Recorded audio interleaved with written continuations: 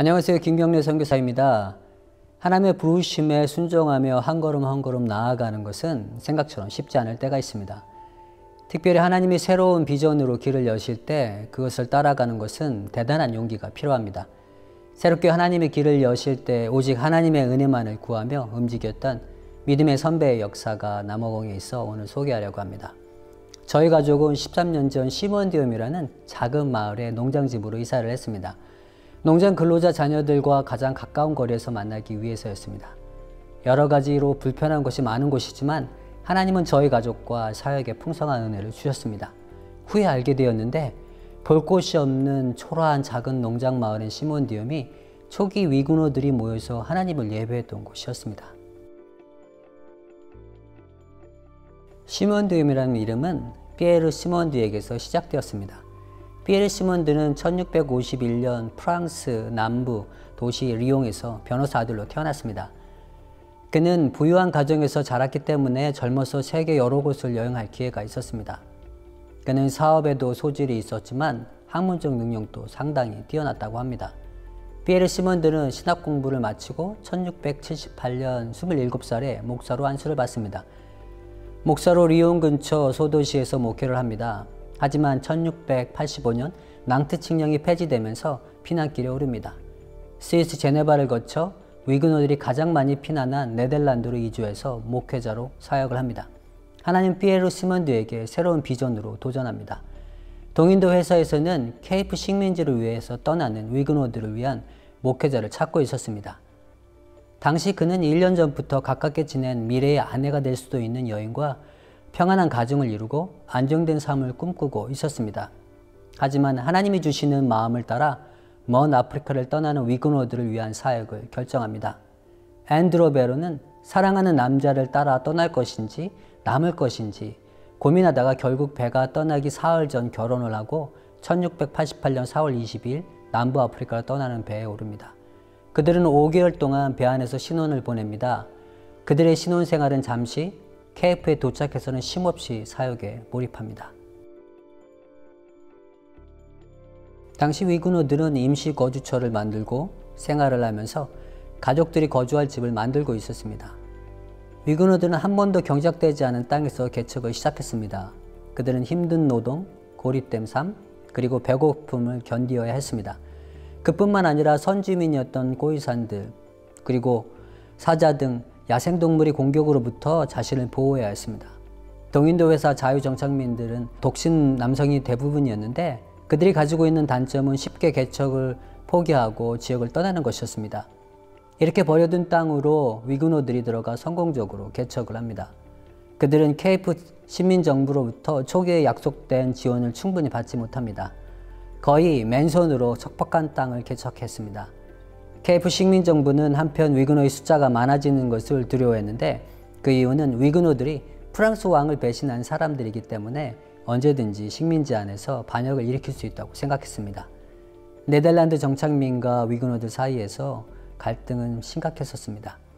피에르 시먼드의 교회 공동체 사역은 당시 위그노들에게 영적 평안과 휴식을 제공했습니다. 1689년 위그너들은 교회 건물이 없었기 때문에 농장집이나 헛간을 이용해서 예배를 드렸습니다. 매주 60명 이상의 사람들이 모였다고 합니다. 예배는 찬양과 성경 읽기, 설교로 이루어졌으며 성찬이 있는 날에는 각자 컵을 가지고 와 성찬에 참여했습니다. 주일 예배는 여느 이민교회들처럼 각종 소식들을 들을 수 있는 곳이며 아울러 서로의 안전을 확인하는 장소였습니다. 피에르 시몬드는 식민지 정부와 관련된 각종 행정 업무를 중재했으며 여전히 가난하고 몇 년 동안 농사의 수확을 얻지 못했던 위그노들을 위해서 구제기금을 이곳저곳에 요청해 그들의 가난한 삶을 돕기도 했습니다. 1694년 12월 22일 베르 시몬드와 위그노들은 식민정부의 도움 없이 교회를 건축해 하나님 앞에 예배를 드립니다. 그의 사역이 10년쯤 되어갈 때두 명으로 시작된 가정은 일곱 명으로 늘어나 있었습니다. 그는 위그노 전통대로 자녀들을 양육했습니다. 자녀들이 매주 시편 찬송 하나씩 암송하는 것은 아주 자연스러운 것이었습니다. 이 시편 찬송은 위구노들의 일상의 삶에서 하나님의 주권 안에 살아가도록 돕는 중요한 도구였습니다. 시편 찬송은 깔뱅, 말로 그리고 발제에 의해서 1562년 완성되었습니다. 그들은 시편 150편 전체를 성경의 의미가 훼손되지 않으면서 하나님을 찬양하는 노래로 만들었습니다. 이것이 시편 찬송의 첫 번째 버전인 마루와 베제 버전입니다. 캘뱅은 아, 시편 찬송 서문에서 곡조가 있는 기도인 찬송은 하나님의 말씀인 시편으로 이루어지는 것이 아, 적절하다고 했습니다. 시편 찬송은 하나님의 말씀인 시편을 곡조가 있는 기도, 즉 찬양으로 만들어 일상에서 부르며 하나님과 하나됨의 삶을 매일매일 살아가도록 도왔습니다. 100년이라는 시간이 지나는 동안 이 시편 찬송의 가사는 구언어가 되어서 새로운 세대들에게는 이해하기가 어렵게 되었습니다. 새로운 세대를 위한 시편 찬송은 1674년 위그노 문학가였던 발랑땡 꽁라드에 의해서 현대어로 개사되기 시작했습니다. 하지만 그는 그 일을 모두 마치지 못하고 죽게 됩니다. 그의 뒤를 이어서 친구였던 마크 안투안 드라바스트가 150편 모두 완성했습니다. 이것이 시편 찬송의 두 번째 버전이라고 할 수 있는 꽁라드와 드라바스트 버전입니다. 1699년 성령 강림 주일날 아이들은 아빠에게 암송해야 될 시편 찬송을 달라고 하였고 피에르 시몬드는 시편 50편 찬송을 줍니다. 그가 자녀들에게 준 시편 찬송은 신 버전이었습니다. 그는 신 버전이 자신이 알고 있었던 구 버전이랑 다르다는 것을 발견합니다. 신 버전을 자세히 살펴보니 너무 의역이 되어 있어서 원래 의미를 잘 전달하지 못하고 있는 것을 알아차립니다. 그는 시편 50편을 원래 성경의 의미에 맞게 1시간 반 만에 다시 가사를 만듭니다. 그는 시편 50편을 가사화하면서 하나님의 도우심을 경험합니다. 그는 이것이 자신의 힘으로 한 것이 아니라 하나님의 은혜로 되어진 것이라는 것을 알았습니다. 그해 6월 9일 영국에서 인도로 가는 배가 케이프에 잠시 정착을 했는데 인도로 가는 영국 대사를 통해서 놀라운 소식을 듣습니다. 본인이 생각하기에 문제가 있는 신 버전이 영국에 있는 위그노들에게 받아지지 않았고 새로운 시편 찬송을 찾고 있다는 것이었습니다. 네덜란드 위그노 교회도 마찬가지였습니다. 그는 큰 기쁨 가운데 시편을 가사화했습니다. 낮에는 위근호의 영적, 육체적 필요를 돌보며 사역을 했고 늦은 밤에는 새로운 시편을 가사화하는 작업을 했습니다. 모든 작업을 마치는데 3개월의 시간이 소요되었습니다. 한 개인에 의해서 기적과 같이 짧은 시간에 시편 찬송이 완성된 것입니다. 그는 또다시 새로운 도전을 합니다.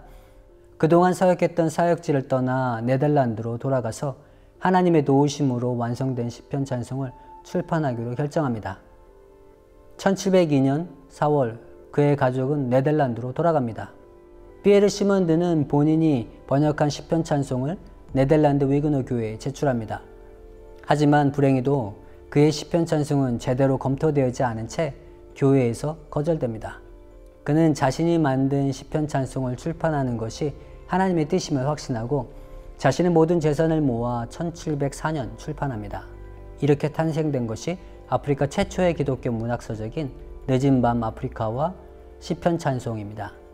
이 문서는 1997년 러시아의 세인트 피터스버그 도서관에서 발견될 때까지 알려지지 않았습니다. 그의 책이 발견되면서 남부 아프리카 위구노 연구는 새로운 전환점을 맞이하게 되었습니다. 아마도 피에르 시몬드는 하나님이 자신에게 왜 또 다른 도전을 하게 하셨는지 완전히 이해할 수 없었을 것입니다.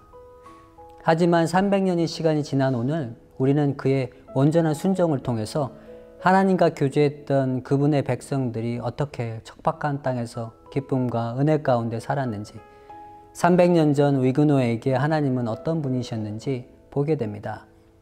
진정 하나님은 시대를 초월해서 우리와 함께 하시는 분, 시공간을 넘어서 우리에게 찬양을 받으시는 분이십니다. 피에르 시몬드는 척박한 아프리카 땅에서 늦은 밤 시편 찬송을 작업하며 받았던 감동을 서문에 남겼습니다. 저는 모든 분들이 이 사실을 알았으면 좋겠습니다. 아프리카나 다른 어느 곳이든 그곳이 보기에 아주 메마르고 건조한 땅이라 할지라도 하나님의 뜻 안에서 그분의 은혜의 강이 닿지 않는 곳이 없습니다. 때로는 하나님은 그분 자신의 영광을 드러내기 위해 가장 미천한 도구들과 우리가 예상치 못하는 것들을 통해서 역사하십니다.